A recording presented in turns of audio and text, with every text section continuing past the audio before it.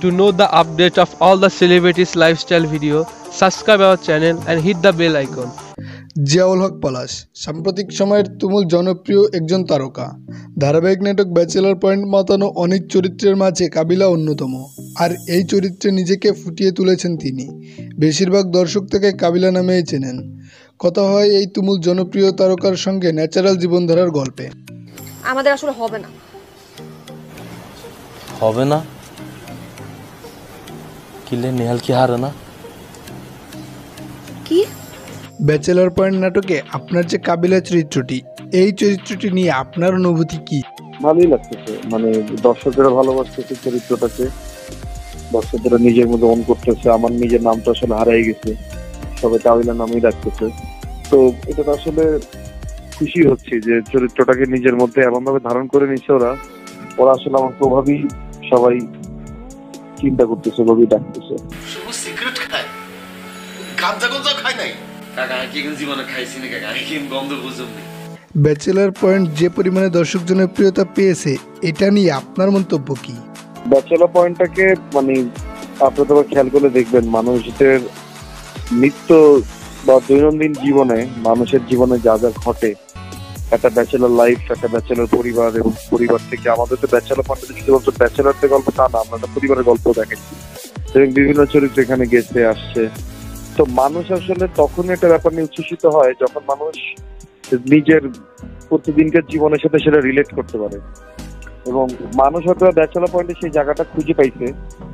এই কারণে আসলে মানুষ এটা নিয়ে এতটা বেশি উচ্ছ্বসিত এবং এটা শেষ হওয়ার পরে মানুষ অনেক বেশি আবেগী হয়ে উঠছে।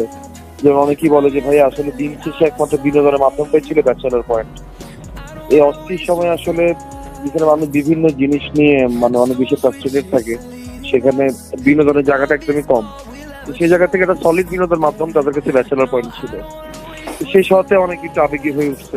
দুই চারটা মুরগি আলা দোকানদার আলা বাদামালা আবল তাবল এগুলো হালাই দেন না? আমরা দেখতে পেয়েছি নাটকটির শেষ দৃশ্যে কাবিলাকে ধরে নিয়ে যায় পুলিশ। দর্শক তো কোনোভাবে মেনে নিতে পারছে না। তো দর্শকদের অনুরোধে সিজন ফোর আসবে কি? এই প্রসঙ্গে নিয়ে যদি দর্শকদের উদ্দেশ্য কিছু বলতেন। তো দর্শকেরা যখন আমাকে যখন পুলিশে ধরে নিয়ে যাচ্ছে এটা নিয়ে যখন রিয়াক্ট করতেছে এবং আমি, আমাকে অনেকে ফোন করছে, অনেকে টেক্সট করছে, অনেকে কান্নাকাটি করছে। দিন শেষে না এটা আসলে একটা নাটক, কিন্তু দর্শকেরা এটা আসলে নাটকের বাইরে গিয়েও এটাকে আসলে রিয়েলিটির ভিতরে নিয়ে ওরা মানে এটাকে নিয়ে তো আবেগ আপ্লুত হয়ে গেছে। আমি দর্শকদের উদ্দেশ্যে একটা কথাই বলব যে, আমার জীবনের সবচেয়ে বড় প্রাপ্তি হচ্ছে আসলে দর্শকদের ভালোবাসা।